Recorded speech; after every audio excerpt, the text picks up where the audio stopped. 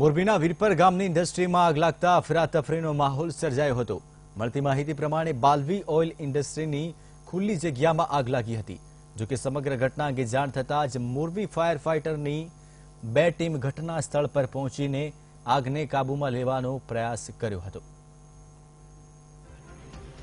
Balvi oil ઇન્ડસ્ટ્રીની ખુલ્લી જગ્યામાં આગ લાગી હતી.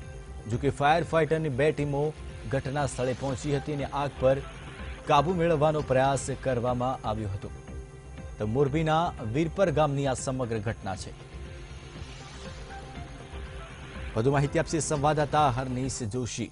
હરનીશ, આગ લાગવાનું કોઈ કારણ જાણવા મળ્યું છે કે કેમ?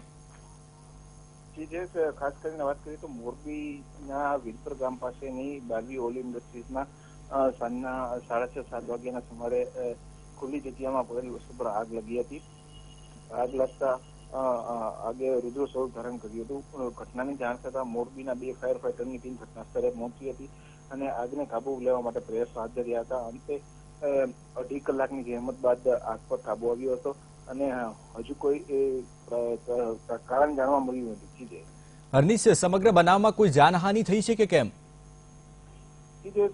હાલ કોઈ જાનહાનિનો સમાચાર મળ્યા નથી.